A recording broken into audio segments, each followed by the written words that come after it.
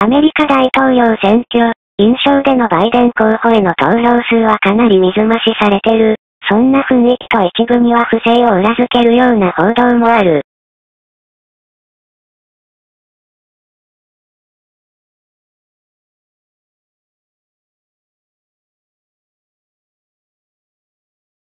多くの報道は大統領へ、かなり否定的で、疑惑の投票数にはあまり触れない。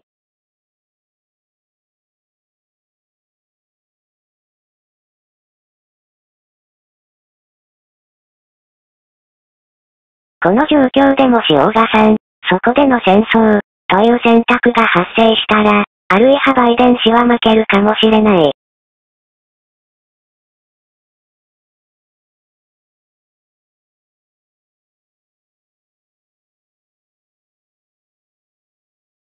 まず、起きるか否か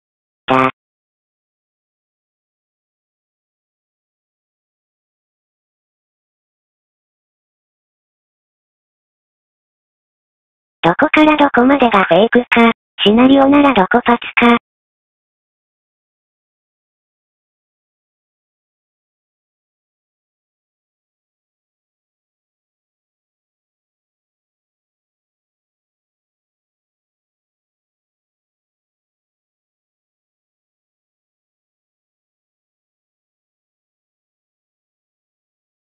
これが、大賀さん、での決着になり、そこで勝負がついて決定になったらそれはそれで個人的には良い、デモンストレーション、という気はするが、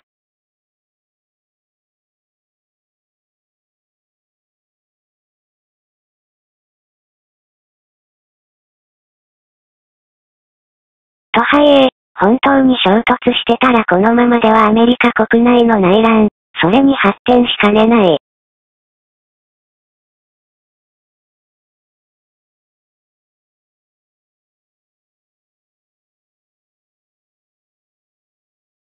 誰にもならない結末を回避するのは至上命題、というその前に、これは何か、